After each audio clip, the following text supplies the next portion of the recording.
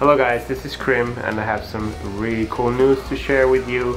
I just finished recording drums for Harakiri for the Sky. So I will be on the new album which will be out beginning of next year. And uh, you better check it out because you know it has some really cool melodic epic songs to it.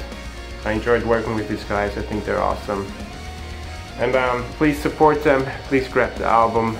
You know, it's, uh, it's good to see an Austrian band grow and has a lot of supporters.